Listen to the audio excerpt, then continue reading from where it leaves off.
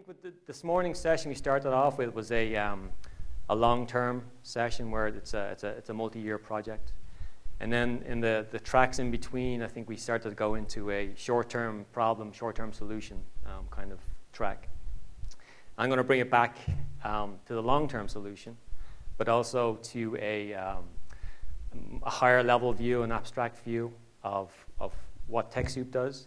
And what I wanted to present to you is kind of TechSoup's idea with data, what they want to do with data, um, in, the, in, the, in the context of uh, helping nonprofits. So in the terms that you guys are typically serving a community, you are our community.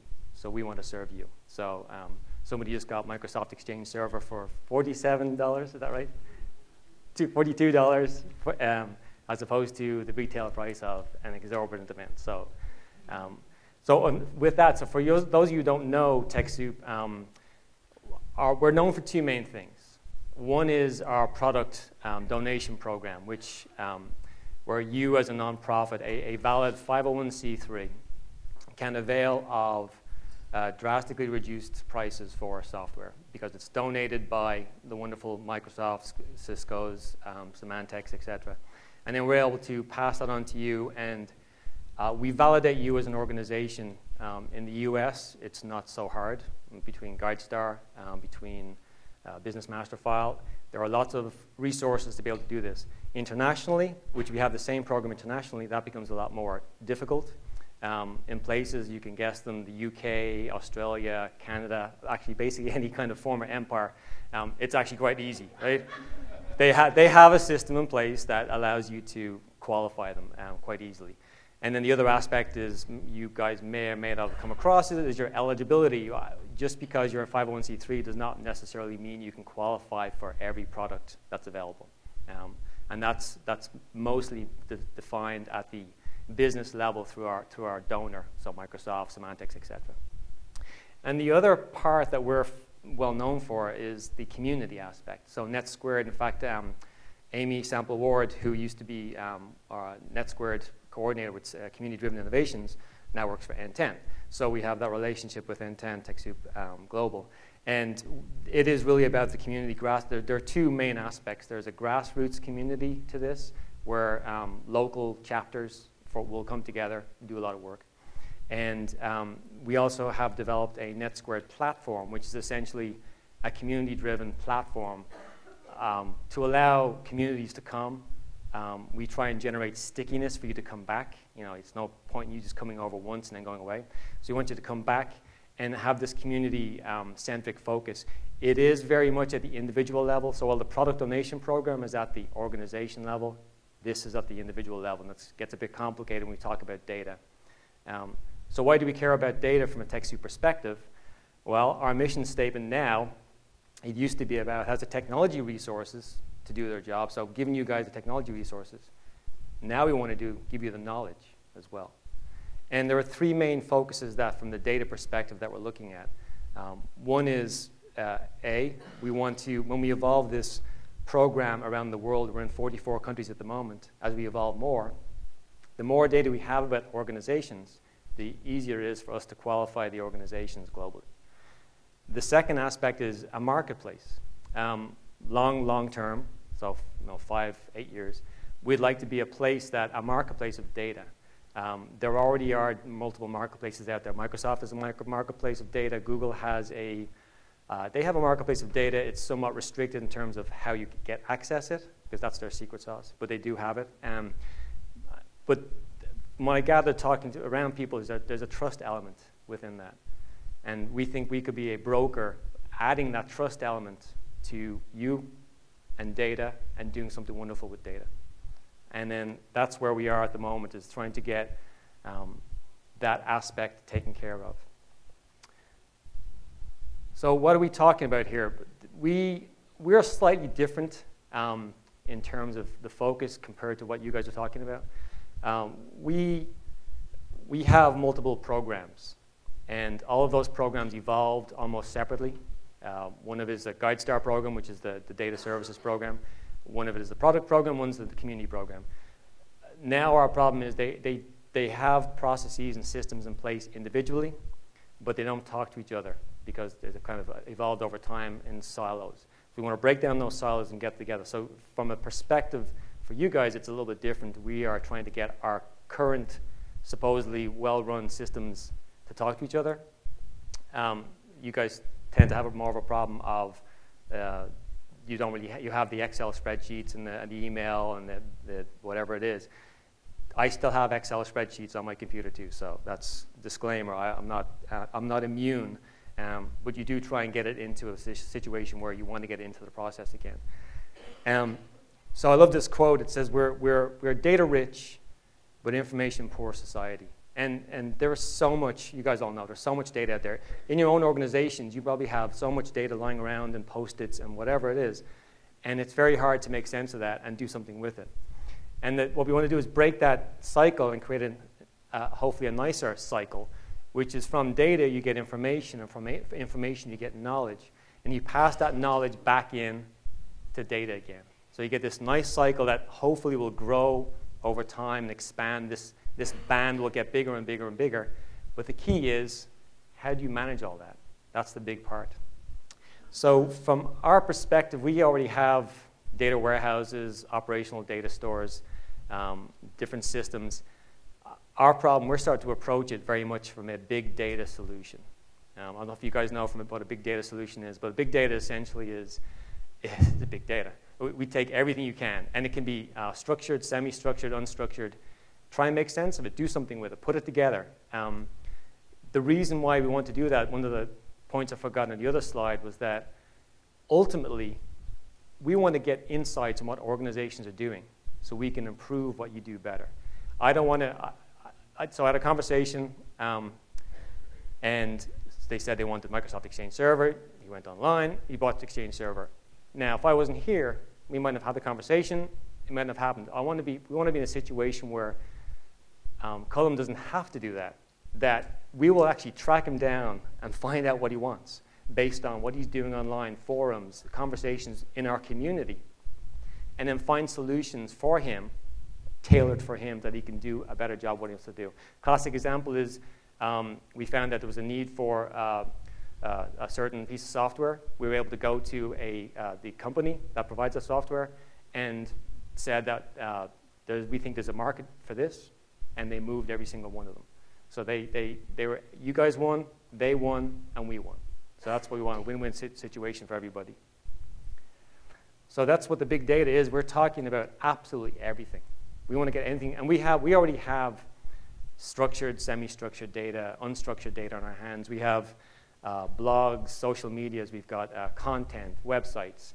And and on top of that, we have our transactional data through the product donations program. We have our community data through individuals who may or may not be associated with organizations, might be a loose affiliation, might be a tight affiliation, but it's still a data point that we want to see if we can, uh, I'll use the word exploit, but try to leverage as much as we can so that you guys can do a better job. And what we're really talking about is you get data, you do something with it, and you explain the results. It's as simple as that. And this is, I'm not going to go into a very um, solution-oriented architecture. This is just at a very high level. I want to give you guys a, um, my findings with working with TechSoup and data and uh, give you a blueprint. Go through all this data that's out there, all this massive knowledge that's out there, distill it down, and just focus on key patterns that you can use, best practices that you can use. So that's my aim for you guys to get out of this conversation is you can walk away here. If big data is something you're interested in, but just data management in general, it all boils down to search and acquire, explore and analyze, explain and share. So this is the typically the world as we know it. Um, before the advent of big data, before Google and Facebook um, and people doing fun stuff with data, it really was a very simple world of structured data coming in. You may or may not use this data. Um, you probably throw a lot of it away or might get lost in a, in a system somewhere. Uh, somebody or something does something with it, defines where it goes, manages it, and then you create these dashboards and reports. Um, I'm not a big fan of dashboards, and I'll, I'll tell you why in a few minutes. I, they do have a place, but I think they're, they're limiting on what they can do and what they, they, they, they instead of inspiring people to imagine, I think it, it, it gives them a crutch to, to leverage that may come outdated. So that's, that's my little spiel on dashboards. Um, and ultimately, users may or may not use it. That's the whole point. And the problem with the, the, the dashboards is that they're not typically not flexible. They've been defined by somebody. It could have been defined five years ago, and we've heard multiple conversations about you got to look at what you're doing. Don't just say, I have a dashboard, and this is my metric, and everybody's happy and rosy. you got to look at that all the time and iterate through it. Is it still relevant? Is it still relevant? Otherwise, you're just going to get um, outdated and outsourced. I think I've had a couple of conversations with people said, somebody asked for something in a report, they gave it to somebody else, who passed it on to somebody else, and what came back was nothing what the person wanted initially. And then they have to go through the whole process again of defining the requirements and producing this artifact. What I'd like to do is empower users, the people who want this information at the end, let them define what they want. Let them play with it. It's difficult. I'm not saying it's, it's trivial. It is very difficult, but it's, um, it's rewarding. Initially, it's fun, and some of, you'll see some of the stuff later on when I talk about the insights. It's fun, right? I mean, so data is supposed to be boring, but actually it can be very fun. And um, the, if you give these, enable these end users to do what they want to do with it, then their world becomes richer and more empowered. So really, it's about empowering people. So this is the world, I call it the Datrix that we're getting into. And we have, this is just TechSoup, by the way. This is TechSoup data. So we have transactional data don donation product sales. We have structured, unstructured. We have um, sub-transactional logs, so we have web logs, uh, social media, call center data. That's, that's all distinct siloed data. And then we have our non-transactional, which is huge, which is growing exponentially. Web pages, blogs, content. Physical events is a good one. Uh, San Francisco will like this because um, we actually had to move our data center, and one of the data points was, what are the seismic events in San Francisco? Because that's why we had to move. So that's important. And on top of that, you got all these application events, machine events. There's events coming at you left, right, and center on top of the, these guys are all in this space working on trying to do big data, help your life better. It's colossal, and I just feel like giving up sometimes. But there is hope, and that's the key. I feel like Obama. Is that, can, I, can I say that? No. There, is, there is hope. No, so you, if you boil it down, it really is about three main themes. It's about big data, so get it managed, you analyze it, do something with it, and then you distribute your results, get it seen. You want to get it out there so people can see the benefits of the, of the work you've done. There are two things which scare the life out of me. Um, well, the first one is the biggest one privacy. Data privacy is what kind of uh, prevents me from just doing the first three pieces. So if you can think of, the, think of these three, the three top pieces as being that horizontal piece, data privacy just encompasses the whole thing. The same with domain data. Um, it can get very territorial with your domain data. Data privacy, um, going back to what John said this morning about um, walking to uh, saying I'm tweeting I'm going to get a, a, some cheese, and he gets back to the response from them, the shop saying, "Hey, welcome, come." That I know that would scare the life out of some people. John probably embraced it. I would embrace it. Um, we talked. Uh, I think Evan talked before about how he gets followed around on websites because of what he was doing beforehand. And that can scare the life out of people. And that's where it gets this mistrust has evolved. And I think that for me, TechSoup, what we'd like to do is establish ourselves in a place that we can be that broker. We can be the place of trust that you can come to that's already established and then um, work with us to help you get better. Go ahead. Go ahead, microphone or.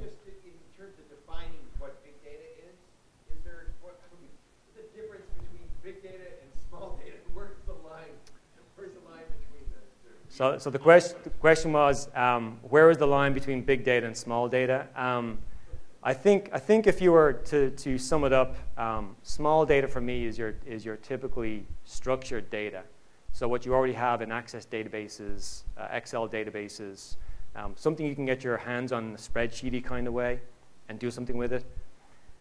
Big data is, um, encompasses that and totally unstructured data, social media um, tweets, uh, Facebook posts, Google Plus shares, right? So it is taking all that information, which is very hard to manage because it is unstructured. So when you get into this world, it, this, this unstructured world, you, it's very hard to interrogate that data. And we talked before about um, uh, one of the pre previous presentations, there was uh, Solr, uh, Apache Solr, which is actually one of the, a very good tool for um, interrogating data from a search type index. So if you can imagine what Google do, that's big data. And we're talking about petabytes of data. We're talking about huge colossal amounts of data, you know? And, and we, just ourselves alone, we are in that situation where we're looking at a lot of data. And before we just throw it away, and it's valuable. Sure. Data that, like, say, oh, from the state of Massachusetts on all the school systems in the state or whatever is structured, even though it's a lot of people, that's still small. Typically, yeah. I mean, it's, it is quantity as well, so you have to look at it from a quantity. But when, I, you know, we're talking about quantity, it's petabytes of data. I mean, it's not, you know, um, it, this is internet traffic data type stuff. And that's what these big companies are dealing with. We don't have petabytes, but we have terabytes.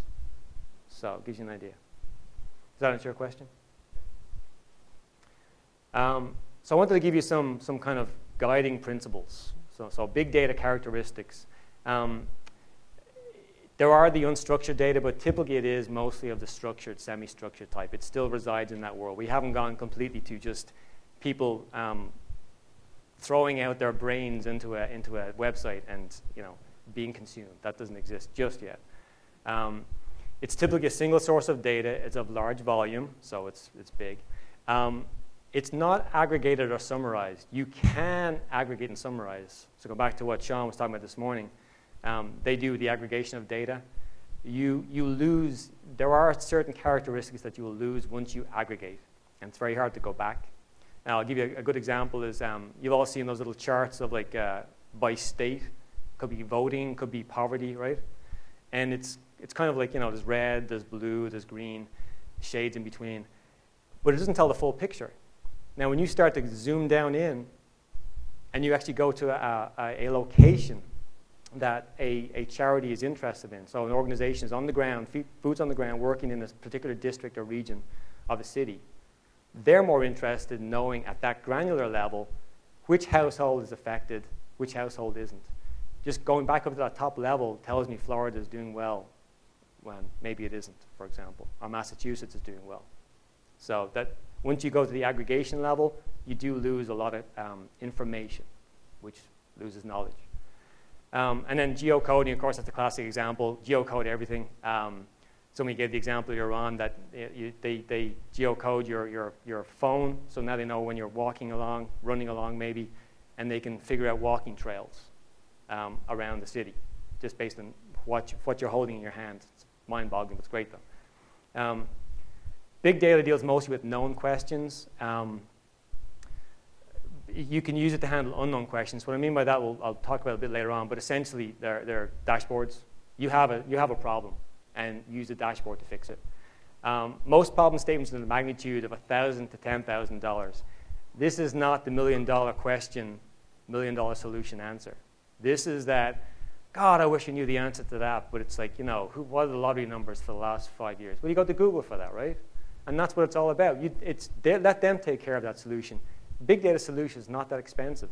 It costs 10 cents per terabyte of data, I think it is, or per gigabyte of data it's now, physically. To buy 10 cents, buy a gigabyte of data is 10 cents. Years ago, it probably would have cost you a couple hundred dollars. Um, and the last one is the big thing is that um, big data doesn't fit into a traditional relational database model. That's why I talk about the unstructured data. You can't just take it and put it in, because if you do, you lose stuff, because you might put it in the wrong place. So it doesn't typically reside in a, a relational database model. Um, some of the principles, uh, it tends to be raw, unstructured data, low infrastructure costs. However, you're not going to run your report real time and get your results back it's going to take a long time. This, this is, when you traverse this amount of data, it actually is quite a, a, a number crunching exercise. It's not something you don't, you don't get your answer back straight away. Um, we want to store all the data. Don't throw anything away. It's like your mother used to say, right? Don't throw anything away because you never know who's going to use it. And it's true. You don't know. You may not have a use for a piece of data. And somebody else might come along in five years and go, I wish I had that, that piece of data. You go like, yes, I do actually. And then you can go give your answer. And then ETL is now this. So ETL is the um, extract, transform, and load.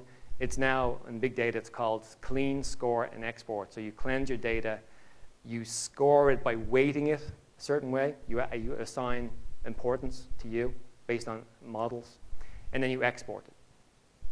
And then the big data, big, the analytics and visualizations, how do you share this data out? Um, business intelligence is used to analyze all those vendors you saw on the previous slide, um, the 50 some odd vendors, only a, small section. They're into the business analysis world, business intelligence.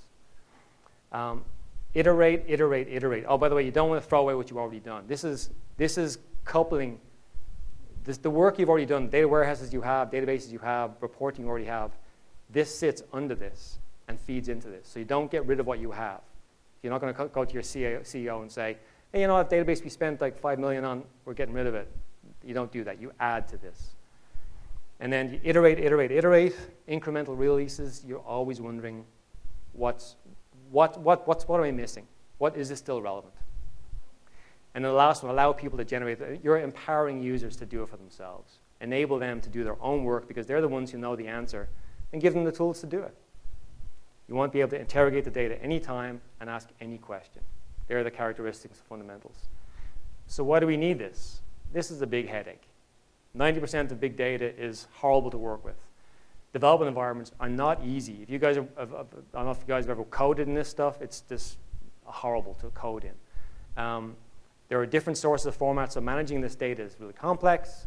Different outputs, um, different questions and problems, different user communities, and you need a scalable architecture because this data has to reside on a lot of data uh, storage areas. And the answer is people don't use big data because they want to, it's because they have to. And that's what Google's doing, that's what Facebook is doing. And that's what TechSoup ultimately would like to do, is use the data it has to try and analyze it to make the capacity building of nonprofits uh, easier, better. Find places where they have a need and do something about it before they have to approach us for a need. So it's being proactive in trying to do problem management, problem solving. So this goes back to the waste not, want not model. Um, this is what we do now. This is what we do in TechSoup. We um, have data sources and we either put it on tape that nobody ever goes to see or we put it in the trash. We just don't care about it. And then eventually it goes up to these data marts and we have our BI and we do our reporting. Life's great. So what if, instead of throwing it away, you had a system of these, this data lake concept. Just put it all in this data lake and then farm it out to those systems that need it. Nice and simple, kind of a bit of fun. But um, you don't throw away what you have. You have a data warehouse, keep it. Now just feed it new data, new data points, and do something with it. This is what a basic solution would look like in a big data world. This is a do, do it yourself. You guys have DIY here? That's a European term. So do it yourself. Uh, if you want to, feel free to go ahead and do this. um, uh, it's complex. Um, it's hard to manage, it's, but it's possible. And it's not that expensive, but you do have to um, invest a lot of time and money into. You could cloud it. So there are already services out there for doing big data cloud. You can, you can call up Microsoft tomorrow, and they'll give you a big data stack in the Azure cloud, and they'll charge you for it, but you can still do it. Um, Google has one. It's a bit more restrictive in terms of access to the data. Tends to use their API. That's their magic sauce, right? So you get the benefit of their magic sauce on top of, of, of them managing the system for you. And then Amazon has, a, has, a sim, has a, another um, example as well. The data sets are the most interesting. Um, they, both Amazon and Microsoft have a marketplace of data. You can go there. You can, there's data out there. You can go get these marketplace data sets, bring them into your, your, your world, and do stuff with it. There's nobody stopping you. So it, there is stuff out there to be done. Or,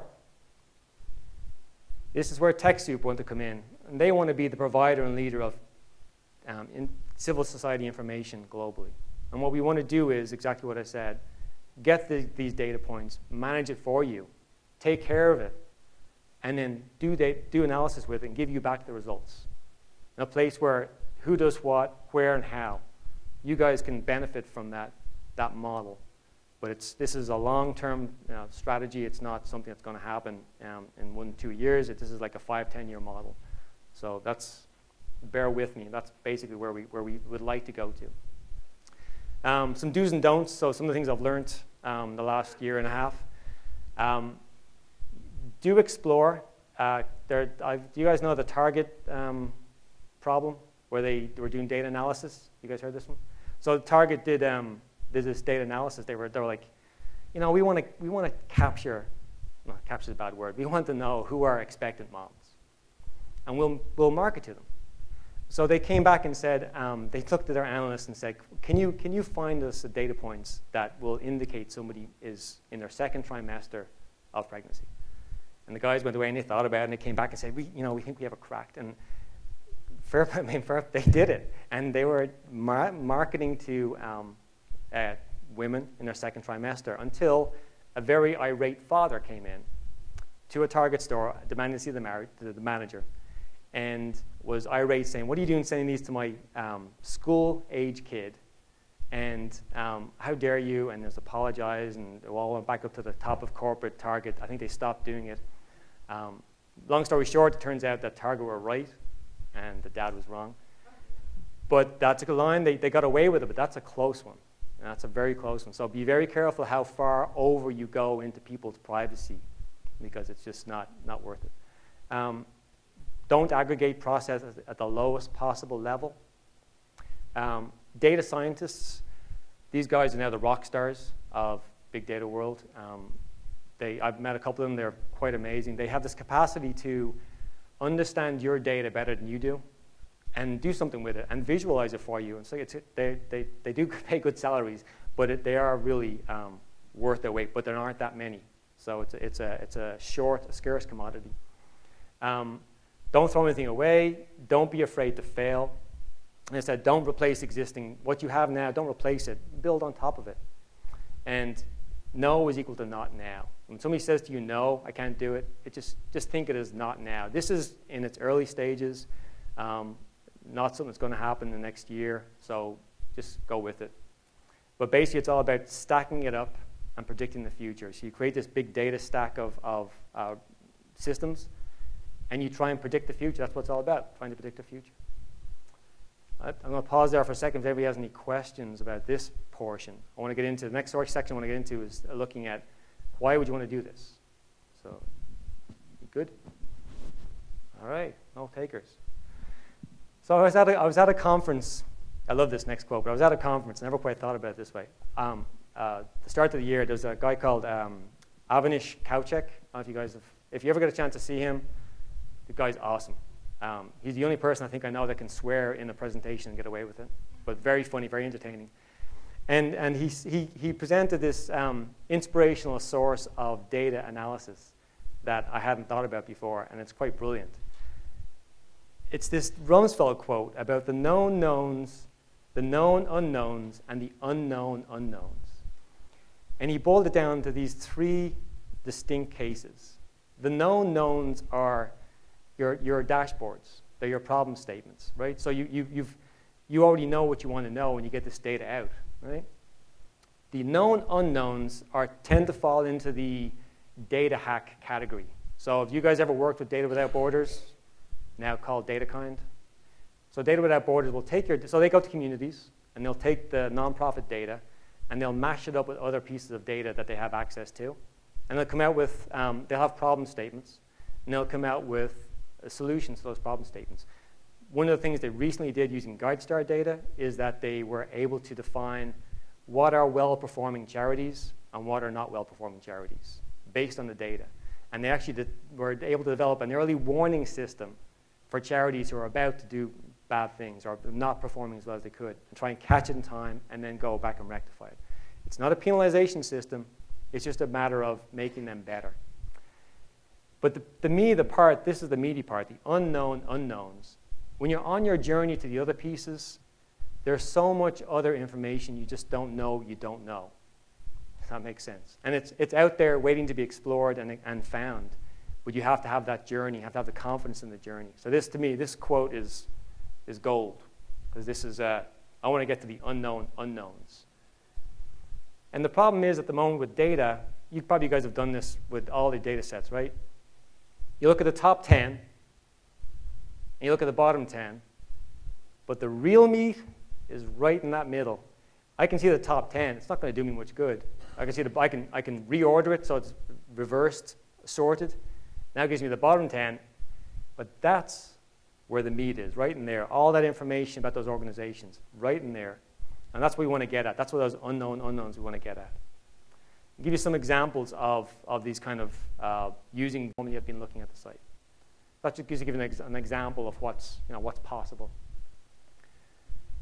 Sure, go ahead. Perfect time, actually. Go ahead.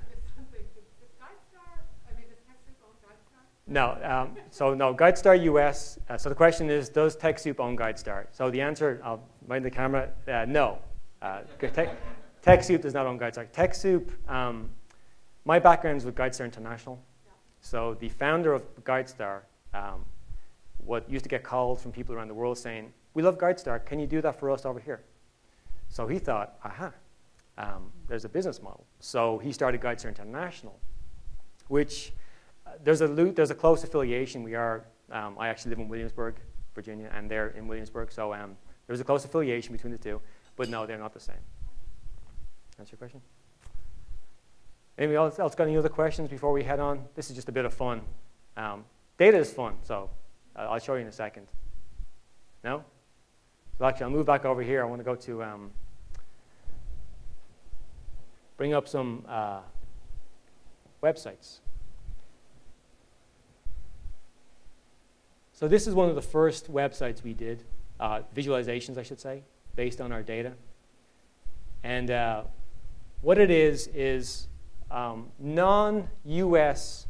product sales around the world, and it's like a that's like a horse race. I love Germany. That's great. Look at them. They started out like you know uh, only a few years ago, and they're top head of the list.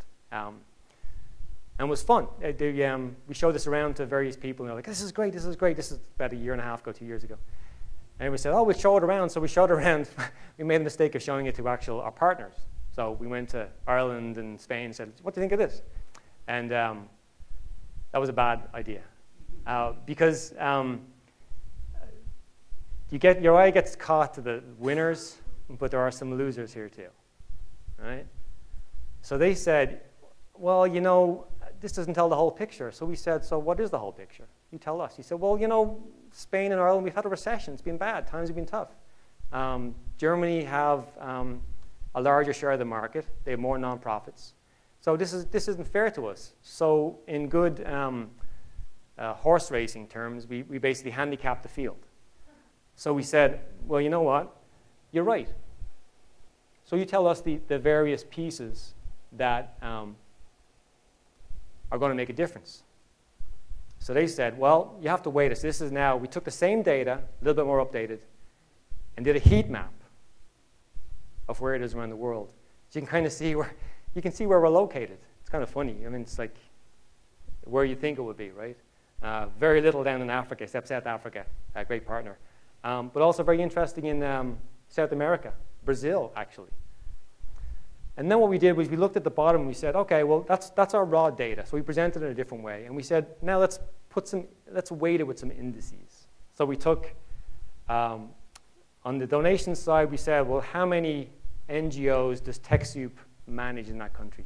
So by the way, if you haven't, we've 3 million, uh, 3 billion in, in uh, sales. Um, that's manufactured recommended. That's not what Cullum just paid. That is what it would have cost if we hadn't had the donation program. So we basically saved a lot of money. so we, we said, well, first one, we'll, we'll, we'll pair TechSoup NGOs under management against donations. We'll also do the GDP. Let's be fair, right? Countries have different GDP, so let's weight it by GDP. We'll do it by income. It's by, by per capita income. And the last one is the Big Mac index. I love the Big Mac index. It's a, it's a purchasing parity number. So it basically says that um, if I buy a Big Mac in the US, that's the same as me buying a Big Mac in Hungary. And now we're all equal. Now we're talking about the same thing. So what we did was, if you look at these with some um, little infographics. So this is against GDP. So based on GDP, now we'll see that Bulgaria, wow, they did a great job. Um, so did Australia, so did New Zealand. Um, Unfortunately, Ireland and Spain still didn't do so well. So, but um, Belgium did very well. But, but you can see the US, in terms of sales, the US is huge. But now when you weight it against GDP, that's a whole different perspective. And that's, each of these fields here is all about some weighting index based on various factors. So if you look at Bulgaria, we actually sold the equivalent of 369 million, over 369 million Big Macs in Hungary. So, um, or, or Bulgaria, I should say. So our donation program, that's how many Big Macs they sold. So it's just a bit of fun, but it's more than fun. It actually gives you a very um, insightful view into what's going on in the world, in your world. You'll notice the first um, uh, visualization I showed you was with a, dare I say, rudimentary. Well, that was done by us internally, developers having fun with Google API. This was done with an organization, a, a company, design company. Um, if you're doing visualizations, I strongly recommend that you do use a company for visualizations because they know what they're doing. And the, the, the criteria is they need to understand your data quickly, and they typically do and they need to do a good job of, of and look at the other work they've done and do a good job of, of, of sharing it around. So these are some of the reasons why we at TechSoup do visualizations. We do it for infographics. Um, we do it to answer some questions. We do it for tell a story. I'll get to tell a story in a second. And we do it just for fun. That's you know part of the reason why we do it. Um, this is a fun one, uh, but it's kind of uh, uh, infographic related. So there's a we do run, through the NetSquared program, we run campaigns. And um, one of the campaigns was anti-corruption. And what this is, is the same anti-corruption theme, but each country's different perception of what it means to them. So in Romania, they actually have dead people voting. So they actually are able to use the names of dead people, keep them alive somehow, and have them vote. Um, in the Czech Republic, you have to bribe. You're bribed for your vote. So there's a whole bribery scandal. And in Slovakia, there's this big gorilla. They just, the Slovakian government is just like, there's them and there's us, and I'm, I can not even bribe you. I'm, you're just too scary. But that's the same anti corruption theme seen through a different lens of different countries. So it just, it can convey at that local level. And what we're all about from TechSoup Global is we're about um, global reach, local impact. So we want to we want to be all around the world doing what we do and impacting locally. So the last one I'm going to show you, a second the last one actually, I'm going to, this is a, um, goes back to somewhat of what the guys this morning were talking about. This is um, telling a story, essentially.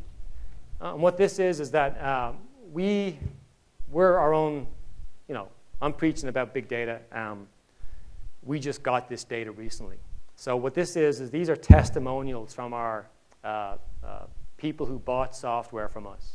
So if you guys bought software from us, you'd send us a story saying what was the impact that that purchase had. And that's essentially what it is. It's saying around the world, it's using Microsoft's impact map, but around the world, I'll present the story of what happened with my donation. So you can actually go and look at it in more detail and say like down in Africa, or maybe not, that might be,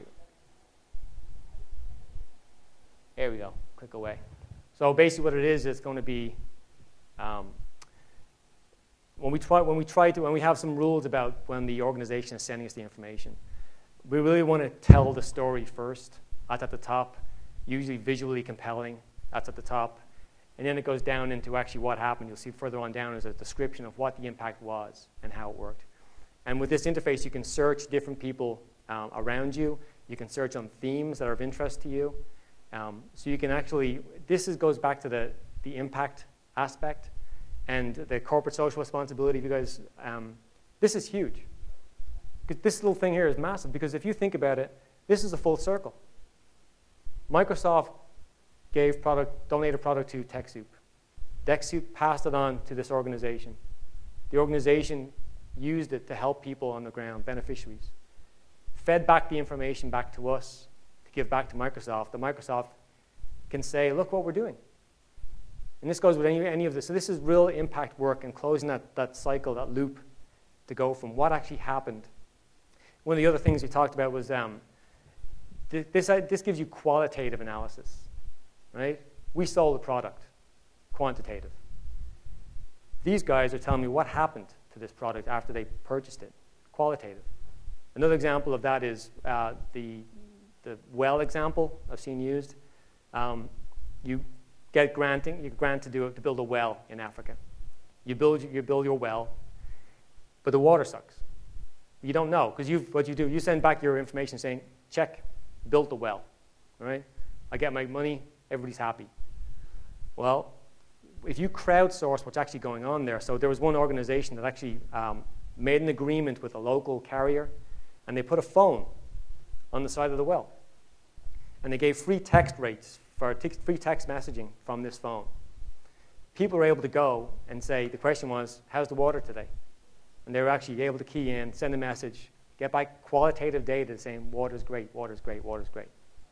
Now you got a real impact story that says, yes, I built the well, and yes, the water's great. Because if not, they should be going back to fix the problem.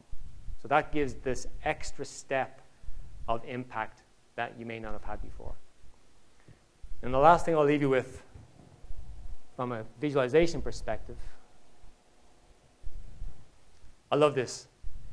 So this is, these are the things Meatloaf would do love for.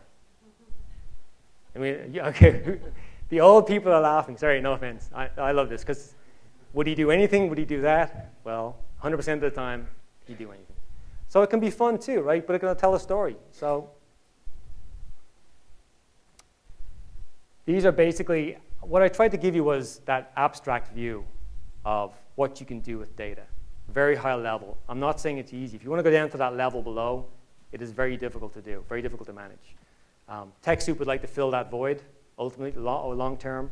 In the, in the meantime, we'd like to get the data we can get and do stuff with it so to help you guys do a better job. And these are just some of the various um, links. You can get them from the, from the, the website when the presentation is, uh, is, is downloaded. And that's it.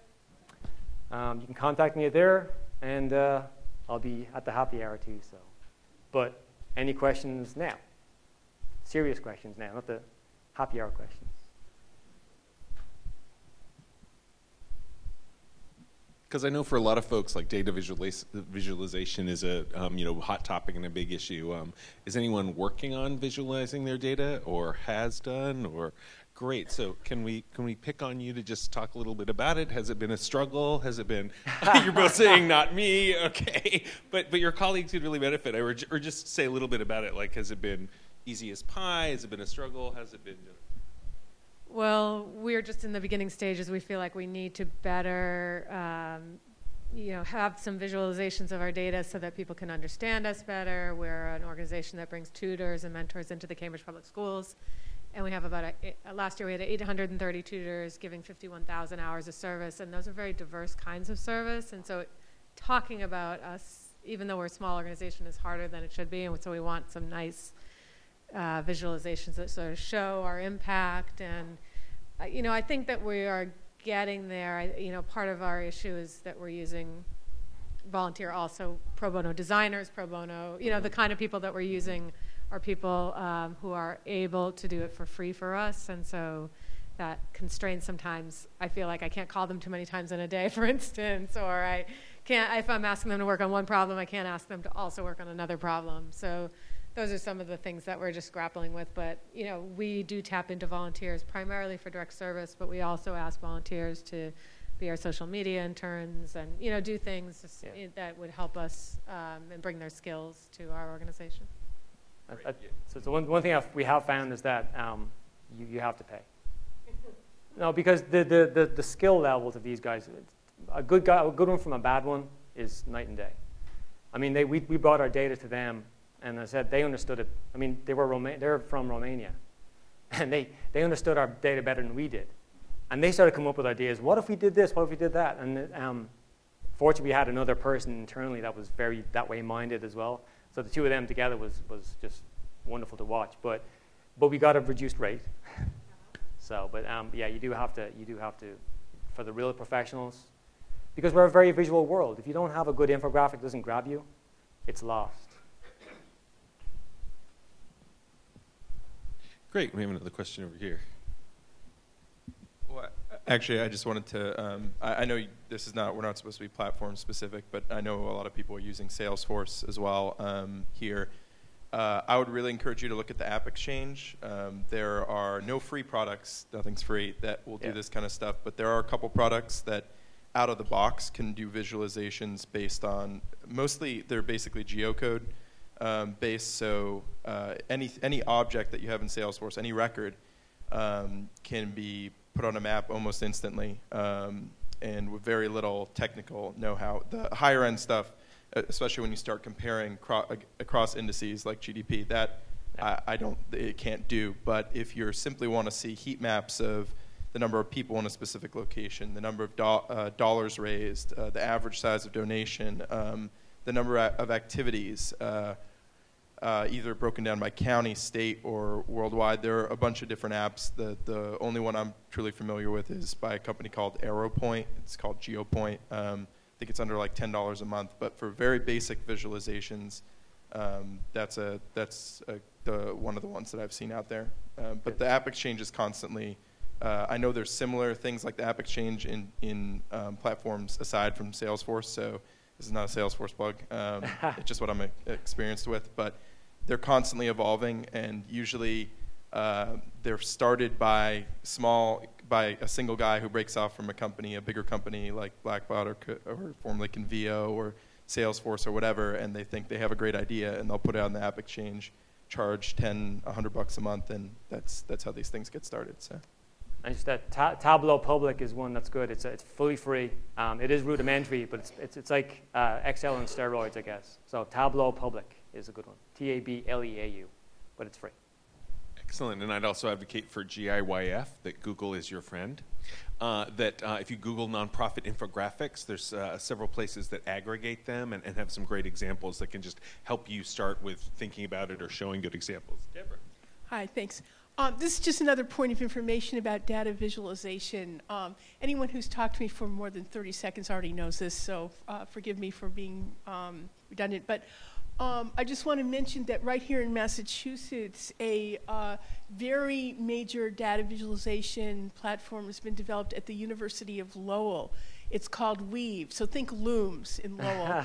Uh, it was really very consciously named that. So it's called Weave, and you can download it for free at OIC, uh, OIC, the letters, OIC, weave.org. Um, the guy in charge of it is a professor of computer science called uh, George Grinstein, and he is extremely eager. He's approached me about giving free training in data visualization to nonprofits in Massachusetts. So, and, and he's basically he's saying, "What's my legacy? I want to make sure this software I have developed um, is going to help make the world a better place." So you're exactly who he'd like to talk to. ev- Everybody in this room. So I just want to say, I don't make any bucks out of this. I just want to say, I'll be happy to put you in touch with him if you give me her, his. If you give me your card, I'll pass on your information to him. And uh, see if you can get a free training in data visualization from a professor of computer science who does know what he's doing. Awesome. Thank you. Great. Anybody else? Great. Help me thank Stephen. Great job, Stephen. That's great.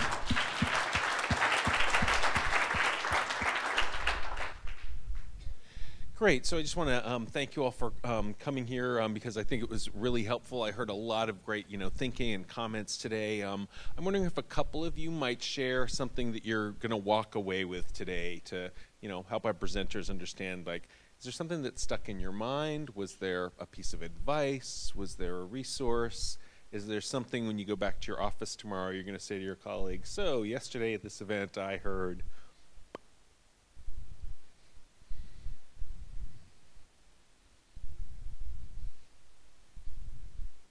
Awesome. Thanks, Ari. Yeah, uh, I thought that um, the dashboard uh, uh, with um, Miss Berry was uh, extremely, extremely useful, and so, and a- it's an exercise basically of figuring out what's the data we need, how are we going to use it, how do we organize it. Um, and why. Uh, I thought that would be something I'm going to take back to my colleagues uh, and try to do that kind of same exercise with them as a group uh, across departments. Think that'll be useful. Great. And for those who weren't in it, um, can you just give that brief description? Because she'd have the Yeah. group come together. You had a big sheet of paper. hmm We had a big uh, we had a big sheet of paper where we basically talk about um, organizational data, things that help our organization run, programmatic da- uh, data, and then what's the what are, what are we measuring that will actually what, what's the data to know whether we've achieved our missions goal?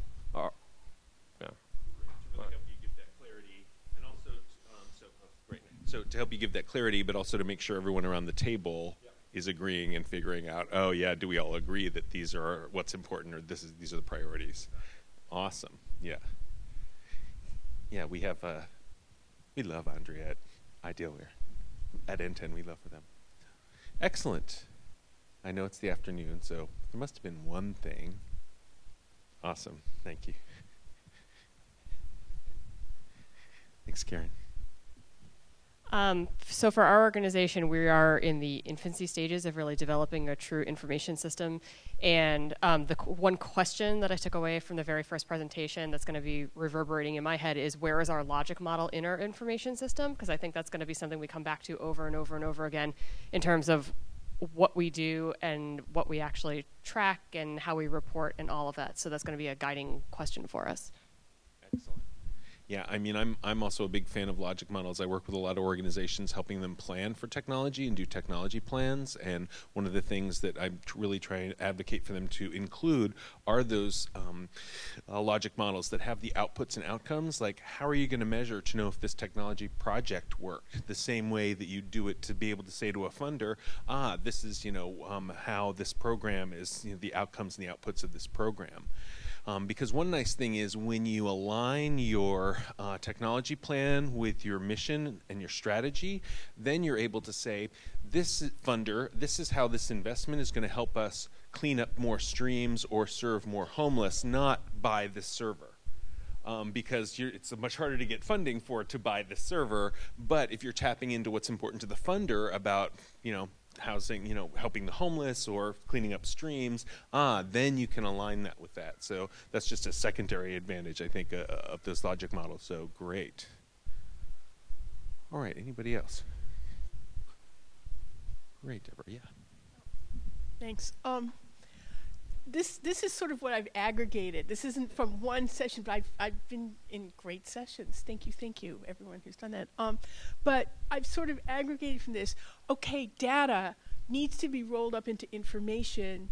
Information needs to be rolled up into knowledge, and then knowledge needs to be rolled up into wisdom. And so now I'm sort of saying to myself, let's be wisdom driven, not data driven. Although data is still really important, it's the base of the pyramid, it's the important foundation, but it isn't the ultimate thing that should be driving.